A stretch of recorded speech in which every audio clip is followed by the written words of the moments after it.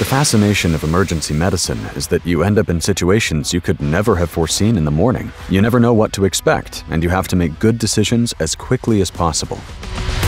In air rescue, we naturally place high demands on the medical equipment used. On one hand, we don't have a lot of space in a helicopter cabin, and on the other hand, we work in very difficult mission sites, and it is important that we find devices that are as easy and intuitive to use as possible, as well as robust. The main aim when applying the device is to do so as quickly as possible in order to reduce the no-flow time. In a well-coordinated team, it can look like changing a tire in Formula One.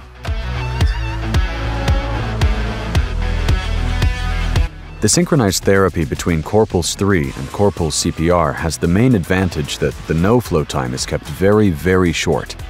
And above all, that I can remain belted in during the flight, that we can start, end, or stop the therapy with the push of a button, and that I only have to operate one device on which I can see the vital functions and monitor the CPR therapy at the same time.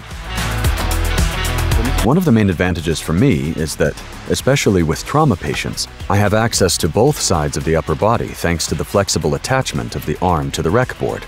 So, for example, I could insert chest drains on both sides during ongoing therapy.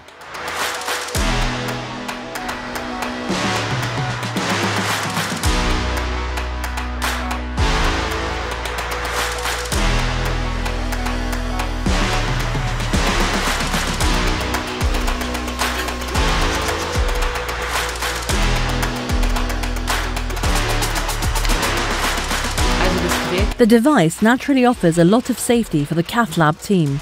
We work with x-rays and the further away you are, the better it is for the team and the less radiation you get.